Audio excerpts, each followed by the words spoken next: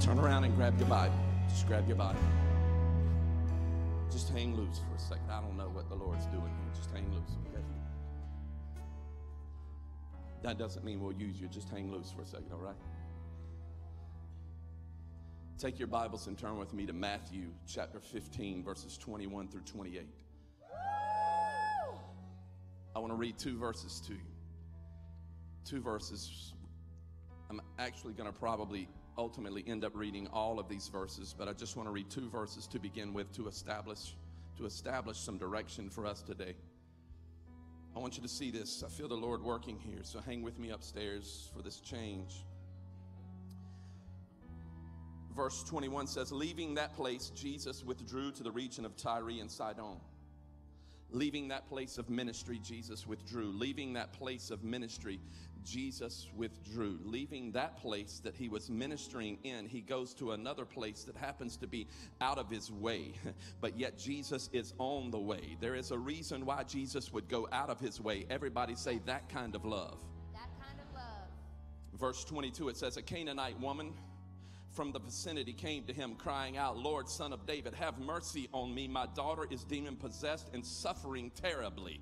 Lord, Son of David, have mercy on me. Here is a Canaanite woman. Here's Jesus going out of his way. Here is a woman who's crying out to Jesus. Here is a woman who's in need of a miracle. Here is the miracle coming. It's on the way. The miracle is on the way. The, that kind of love. Somebody look at your neighbor and announce to them the subject matter of our conversation. That kind of love. That kind of love. How many of you came today to chase after Jesus? How many of you, somebody give him praise with the voice that he gave you to praise him? Come on, somebody, rise up and praise him in this place. Hang on a second. You see, a week ago, we all sat around the TV praising an event called the Super Bowl, watching crazy commercials, a halftime show with Lady Gaga flying with a chicken wing in your hand, pizza in your mouth. You were praising the Super Bowl. Today, I want you to have some super praise, not for an event, but for a person. The person in the name of God the Father, God the Son, God the Holy Spirit. We may not be serving chicken wings, but the Bible says there's healing in his wings. He is Jehovah Rapha, the God who heals. He was wounded for our transgression transgressions, bruised for our iniquities. Listen, the chastisement of our peace is upon him. By his stripes we are healed. Good God Almighty, healing is on the way. Healing is on the way. Your healing is on the way. I don't know what the Lord is trying to do in this word, but your healing is on the way. You see, maybe you feel like the enemy has stacked the odds against you. He's run up the score. You feel like the place that you're in is far from the grace of God, but your healing is on the way. Your finances may be desperate, your emotions may be in despair, your, your marriage may be in ruins, but God wants to display His healing, and He does not display His healing through an event. God displays His healing through an experience, and the experience that God uses to display His healing is the experience called love. Good God Almighty. Is it all right if I preach a little and teach a little today? In fact, I'll probably teach a little more so that I can set up my preach. Look at your neighbor and announce to them this brand new series. The title of this series Love Handles. If your spouse is beside of you, say, I love your love handles. If your spouse is not beside of you, and you're looking for a spouse, I would recommend you not saying that.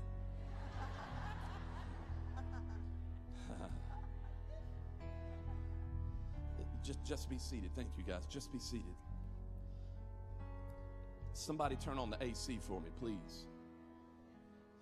Some of you are like, oh, it's cold. No, turn on the AC for me, please.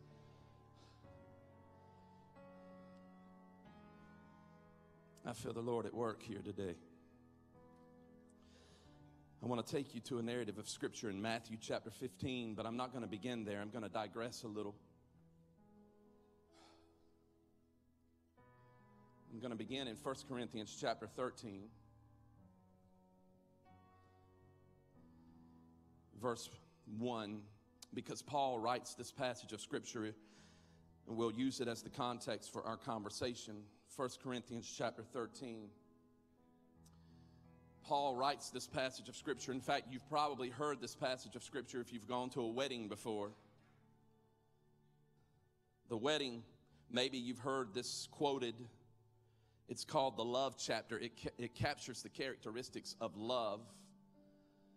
But this passage of scripture is so much deeper than just being read at a wedding. Now, however, it certainly works for that because this is a passage of scripture that should evolve in your marriage. This is a passage of scripture that Kim and I have posted on our wall at home, but yet it's much deeper than that. But in order for you to understand the depths of 1 Corinthians chapter 13, you really need to understand the context that it was written in. You see, Paul wrote this passage of scripture to the church at Corinth, and the church at Corinth had this group of super spiritual people in it. And they were trying to run the show. And their faith was connected to the evidence of God's existence based upon whether or not the gifts of the Spirit were present. They could establish God's existence if they saw the miraculous or saw the gifts of the Spirit. They had become super spiritual, if you will, and were beginning to change the gospel. And so Paul was upset with their tactics, and certainly he was not impressed by their super spiritual qualities because he wrote this passage of scripture trying to get the early church back to the essence of God's word, back to the essence of the gospel. And the essence of the gospel was love centered. So he writes this passage to show them something. Is it okay if I read a little and talk a little? Is that okay if I read some and then talk some? Here's what verse 1, chapter 13 says. Paul writes, If I speak in the tongue of men and of angels, but have not love, I'm a resounding gong and a clanging cymbal. Let me just stop and talk about that. You see, Paul gives this beautiful illustration that would certainly stick to the minds of the people in the Corinthian city because all over Corinth there were these pagan worshipers who worshiped in a certain way. They used this gong like apparatus, we might call them cymbals and all over Corinth, these pagan worshipers who worshiped false gods would begin to bang these cymbals all at all times of the day, morning, noon, and night, 24 hours a day in different venues. These cymbals would be crashing together. I was going to use some cymbals today, but they cost $218, so I didn't want to. But this loud, incessant noise that was continuous that was aggravating and agitating, like fingernails on the chalkboard. You couldn't go anywhere in Corinth without hearing this sound morning, noon, and night. And the reason why they used this is because they thought the louder that they were, it would bring spiritual ecstasy. He said, If I speak in the tongue of men and of angels, but have not love, I am nothing but a resounding gong and a clanging cymbal. But then he uses this term in verse 1 that identifies the nature of a person who talks all of the time, who is a nonstop talker. They incessantly talk, they just continuously talk. Do you know of anybody who just talks all the time? All they do is talk, talk, talk. If you know somebody like that, raise your hand. All they do is talk, talk, talk. And what is coming out of their mouths is not words, it is noise. This is a brilliant illustration because what Paul is saying is th- these people in the church are saying all of this stuff, but their lives are not matching what they're saying. If I speak in the tongue of men and of angels, but have not love, I'm a resounding gong. All they can think about is that noise that they hate so much that they hear all of the time and a clanging cymbal. He's saying your life doesn't necessarily match what you're saying. You're super spiritual so holy.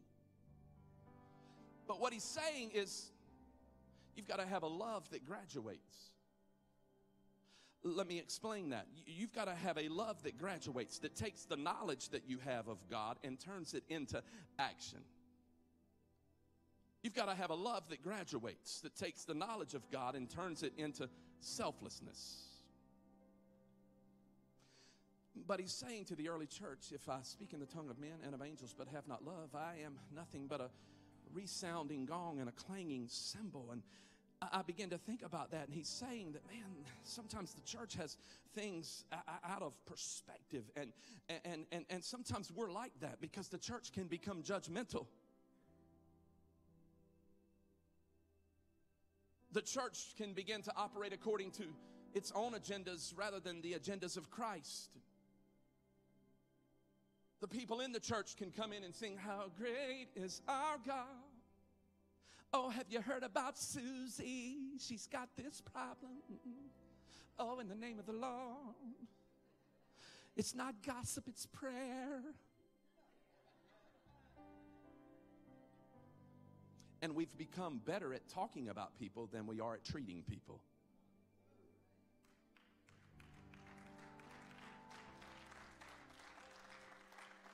And we want to say things like, well, the Spirit of the Lord's not moving there because we're not doing enough of this. It's based upon our personal preference. I don't like that worship. And Paul's saying, Paul's saying, uh, what you're saying doesn't match how you're living. And you've become so self absorbed with what God is doing for you that your love hasn't graduated. When was the last time that instead of you talking about what God is doing for you, you can talk about what God has done through you for others? Mm.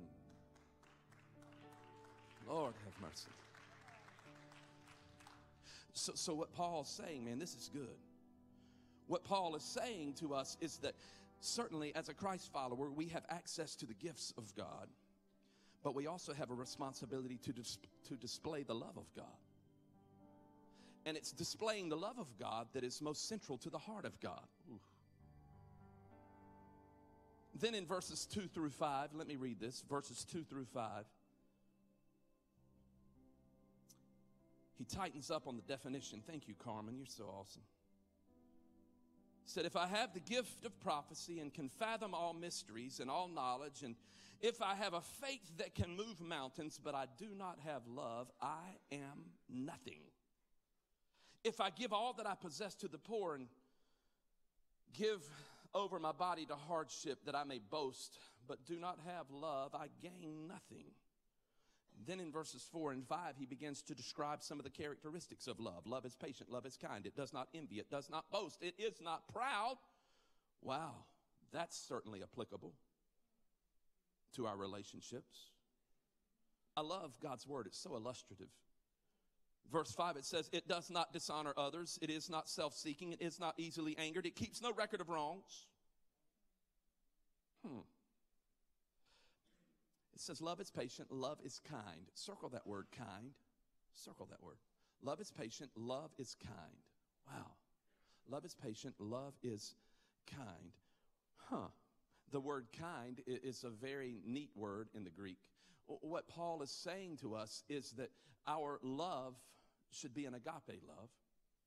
An agape love is a love that pours out of us and pours onto the needs of others that is not self centered, but is selfless, that looks around for the needs and is so focused on the needs that we're, that we're willing to do whatever we can to meet the needs. It's not like we proclaim God on Sunday, but we ignore the needs around us on Monday. You know what I'm saying? If I speak in the tongues of men and of angels but have not love, I'm a resounding gong and a clanging cymbal. But he uses the word kind that kind of love. The word kind in the Greek is, is, is, is so unique. It actually means this, Rodney. It means to be so focused on the needs of others that you'll do whatever it takes to bend over backwards to become all that they need you to be in order to meet their need. Wow. In other words, what Paul is saying is do we do whatever we can to become whatever others need, or do we look at others and demand them to be like us? Whew, good Lord, that, that, that'll preach. I'm going somewhere, I promise. Look at your neighbor and say, He's going somewhere. Verses 6 and 7, you need to see this. verses 6 and 7. I'm going to get back to the narrative in a, in a minute, just mainly two verses. But 6 and 7 says, Love does not delight in evil, but rejoices in the truth. It always protects, it always trusts, it always hopes, it always perseveres. Verse 8 Love never fails. But where there are prophecies, they will cease. Where there are tongues, they will be stilled. For there is knowledge, it will pass away. Hmm. That's verse 8. I know I didn't give it to you, but it always protects us. Verse 7. It always protects, it always trusts, it always hopes, it always perseveres. Some of your translations say that it bears all things. That word bear in the Greek is also very unique in that it, a secondary meaning of the word bear in the Greek means to handle. In other words, what Paul is saying is love handles all things. Mm. Love handles all things. And, and if we're a Christ follower, we have the responsibility of displaying the love of Christ to all of those that are around us. If I speak in the tongue of men and of angels, but have not love, I'm a resounding gong and a clanging cymbal, is what he says. Huh. You, see, what Paul is trying to teach us is that there is a physical reaction to the love of God there is a physical reaction. There is a physical reaction. Put that point up. It, it, I don't know if I gave it to you this morning, but there is a physical reaction to the love that God gives. Think about that. There is a physical reaction to the love that God gives. Think about Christ. He did not come to serve us just in word, but also in deed.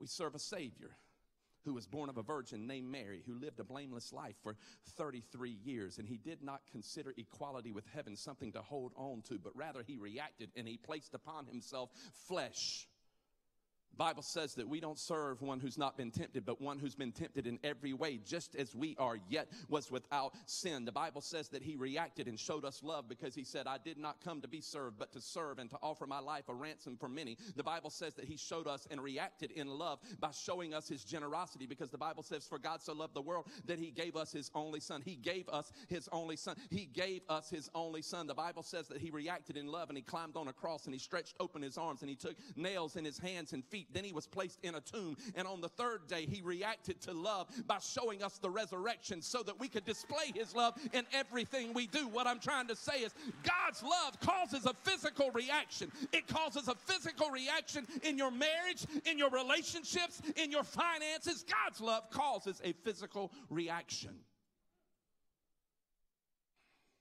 Jesus didn't say, I just, I, I love you in word. He showed us in deed. Now that we understand that a little bit more, let me take you back to the narrative. Matthew chapter 15. Matthew chapter 15. Turn there with me. Matthew chapter 15. Let me read a couple of verses again to you. Matthew chapter 15. Here's something that I need you to understand. This is there's two things I want to give you for the rest of our journey together today. Number one, write this down. All note takers are going to heaven. Remember that. Don't write that down. I'm just telling you. Write this down. Love goes out of its way to get in the way. Good Lord, that's good. Love goes out of its way to get in the way. Hmm. Hold on a second. Love, let that resonate with your spirit. Love goes out of the way to get in the way. Look at verse 21 again. It says, leaving that place, everybody say that place. Here's Jesus ministering in that place. And it says Jesus withdrew to the region of Tyre and Sidon. I want you to understand the place where Jesus was and now the place that Jesus is going is over 80 kilometers away. It's out of the way. 80 kilometers, roughly 50 miles. He went 50 miles out of the way to a place called Tyre and Sidon for one reason. You'll read this passage of scripture. He didn't do anything else in Tyre and Sidon but meet this one woman's needs. Nothing else. He went 80 kilometers, 50 miles out of his way. Now, listen, I don't want you to confuse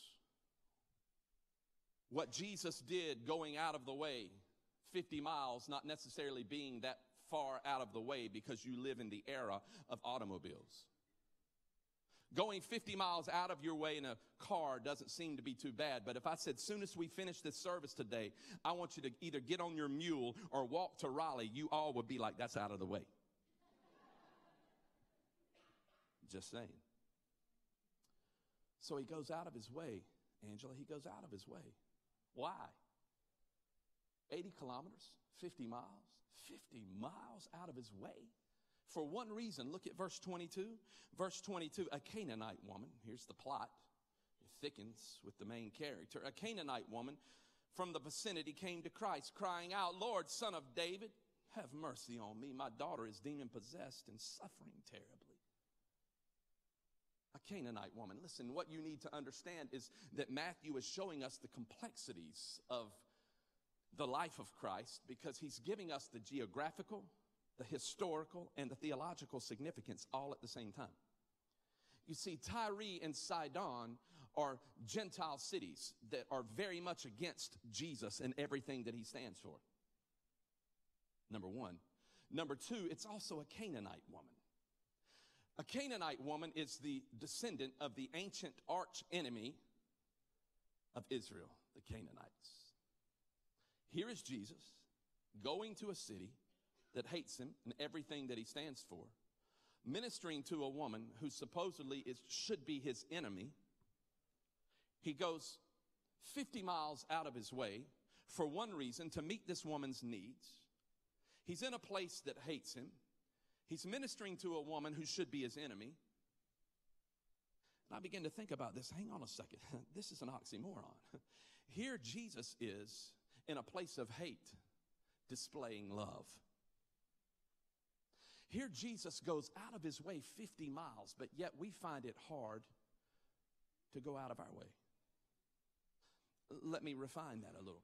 Here's Jesus going out of his way 50 miles to minister to someone who should be his enemy, but yet we find it hard to go out of our way to establish some core principles of love in a relationship that we claim we love the other person. We all want to experience love, but, but, but not the requirements of love. We all want to experience the beauty of love, the warmth of love, but, but, but not necessarily the responsibilities of love. We all say that we love, but yet we find it easier to mistreat people than to actually love on people.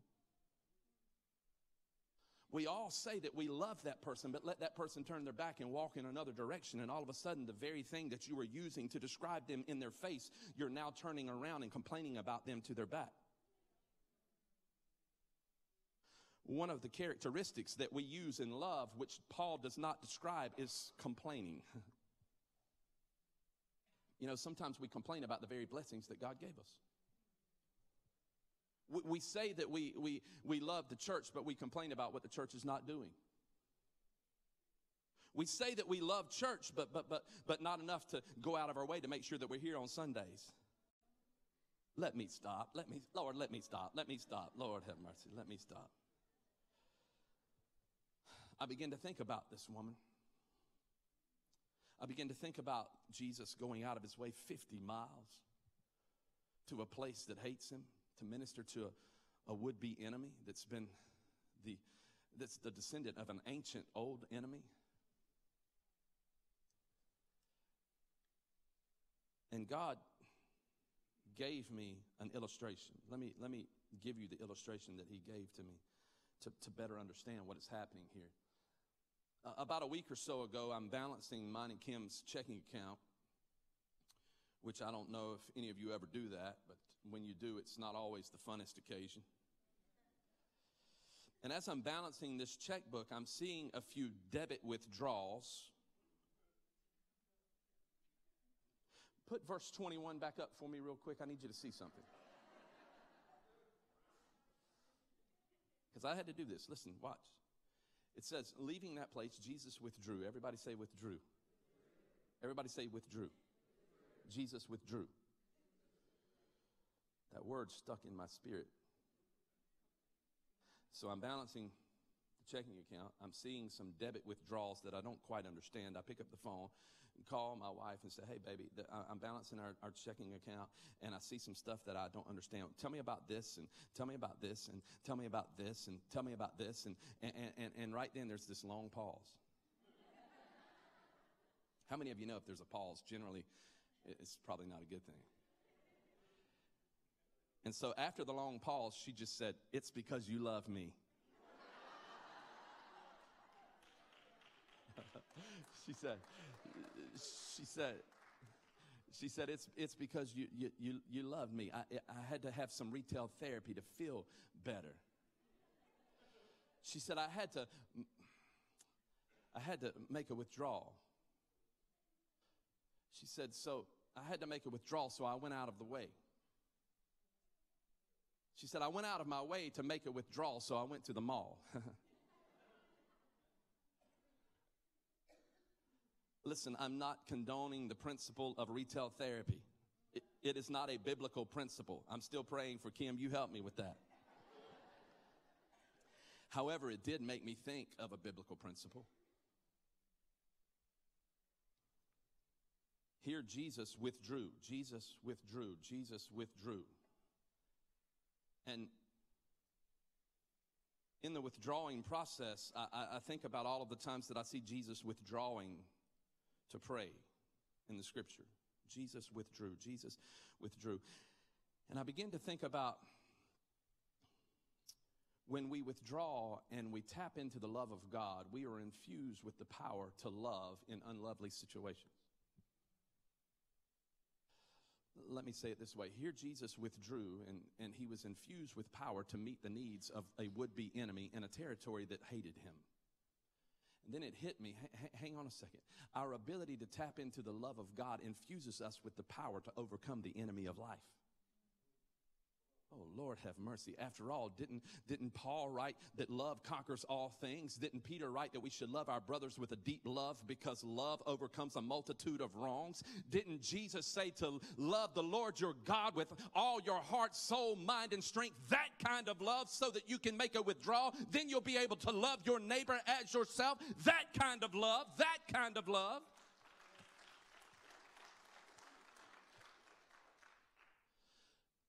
But one of the reasons why we have trouble going out of our way is because we can't get self out of the way. Somebody said, Jesus. We just can't get self out of the way. You see, in order to be able to experience and display the love of Christ, you've got to be in love with the right things. Some of you are in love with being in control. And your control freakish nature causes everyone else to hate to be around you. Bang, bang, bang, bang. Those cymbals would have been perfect right there. Some of you love to complain. You love to complain. You complain about this, you complain about that, you complain about this, you cry about that, and everybody else around you is bang, bang. That's all they hear bang, bang, and no one wants to be around you. Some of you, you, you want love in your marriage, but not enough that you'll go out of, way, out of your way to offer forgiveness. So this woman, she ran after Jesus and she said, Son of David, have mercy on me. Listen, w- what are you going to do? Are you going to hang on to what you have in your hand or are you going to grab hold of the restoration of God? Because Paul writes, If I speak in the tongues of men and of angels but have not love, I am nothing but a resounding gong and a clanging cymbal. I don't know who this is for, but what I'm trying to tell you is that Matthew is telling us all of the great characteristics of the heart of Christ while at the same time showing us the deficiencies of our own heart. Wow.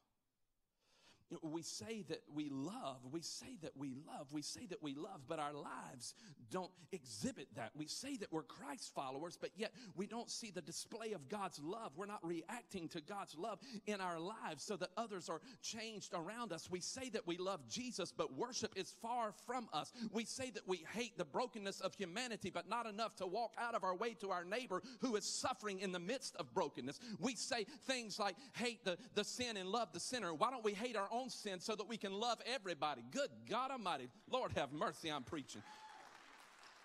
We talk about we want to do these things and we want to do this and experience that, but yet the love of Christ seems to be far from us. Mm. We want to come into church and lift up our hands and worship the Lord and proclaim the goodness of God, but yet ignore the very things that are around us that requires the love of God to bring change into that environment. Don't shout me down when I'm preaching good. You see, here's the point that I'm trying to make. It is impossible to react to God's love if you have not first made the withdrawal. Because all I can think about is Moses withdrawing to the mountain so that he could spend time with God, so that he could love on a bunch of stiff necked Israelites all I can think about is David, who writes, This is the one thing that I ask, and this is all that I seek, that I may make a withdrawal from the house of the Lord all the days of my life. I think about Elijah, who goes up on the mountaintop so that he can experience the love of God, so that he can do what God called him to do. What I'm trying to say is, some of you are making withdrawals from things that are not of God. Some of you are making withdrawals from anger. Some of you are making withdrawals from bitterness. Some of you are making withdrawals from brokenness. Some of you are making withdrawals from lack. Some of you are making withdrawals from loss. And you can absolutely relate to the Canaanite woman because you feel like you're living in Tyre and Sidon, which is a long ways away from Jesus, but you have forgotten that Jesus will go out of his way to make sure that he meets your need in hopes that you will display the love of God to all of those that are around you. What you need to understand is that place that the enemy is bumping into you is only because God is trying to extract out of you the love that he placed inside of you. Good God Almighty. What I'm trying to say is great greater is he that is in me than he that is in the world. That kind of love. Listen, out of the abundance of the heart, the mouth speaks. That kind of love. Greater love hath no man than to lay down his life for a friend. That kind of love. God is looking for people who will go out of their way to get in the way. Good Lord, have mercy. Somebody give him praise.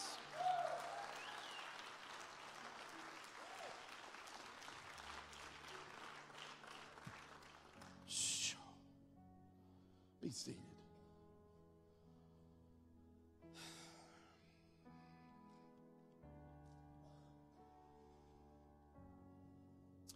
Let me read a couple more verses to you. Can I do that? Here's the thing.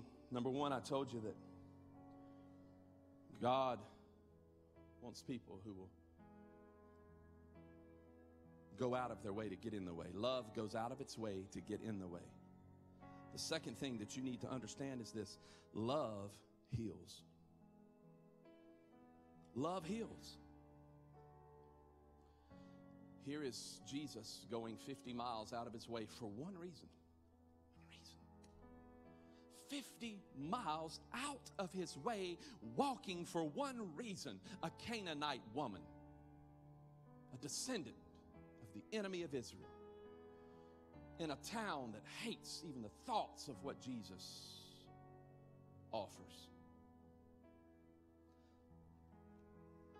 But love heals. Jesus did not answer a word, so his disciples came to him and urged him, Send her away, for she keeps crying out after us. Even the disciples haven't caught on to this love yet. He answered, I was sent only to the lost sheep of Israel. The woman came and knelt before him, Lord, help me. He replied, It is not right to take the children's bread and toss it to the dogs. There's a lot of theological significance there. I don't have time to go into it. But verse 27, watch this. Yes, it is, Lord. Even the dogs eat the crumbs that fall from the master's table.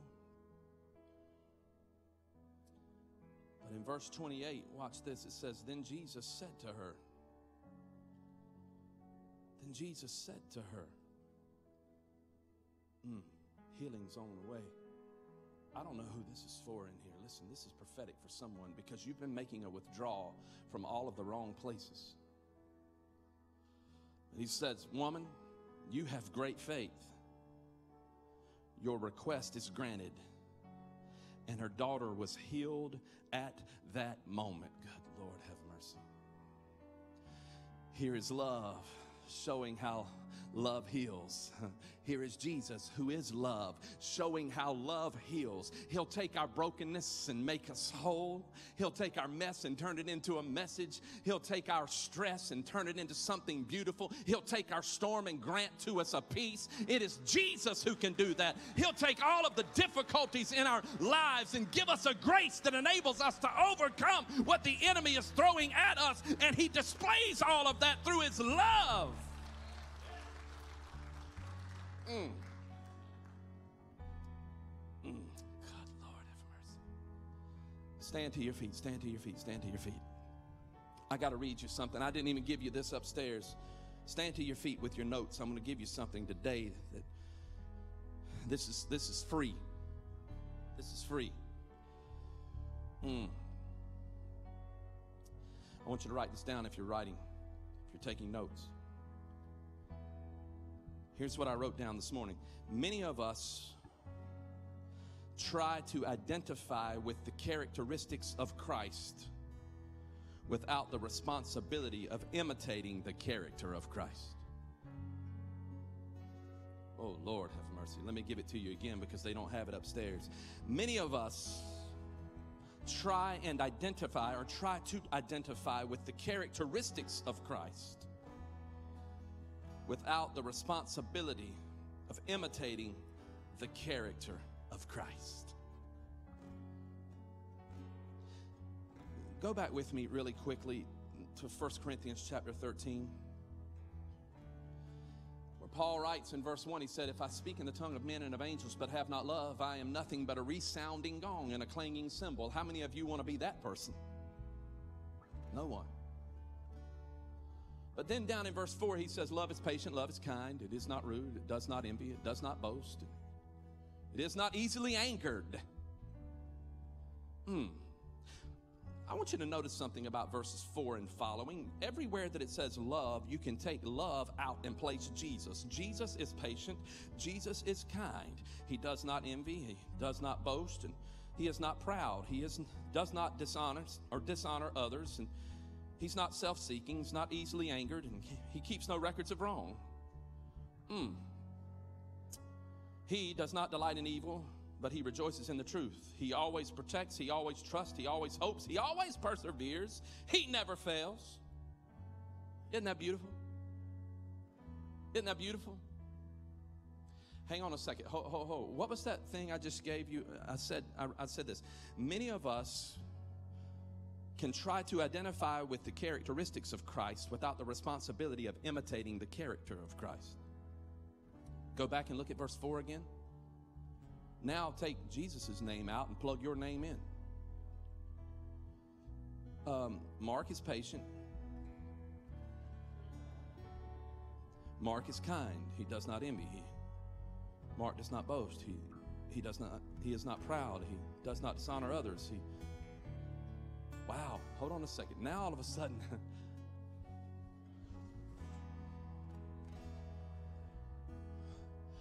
mm, we, we, we, we if I speak in the tongue of men and of angels, but have not love, I'm a resounding gong and a clanging cymbal. Good Lord, have mercy. But Paul writes, love handles all things question is are you loving the way Christ has commanded you to love? Hello.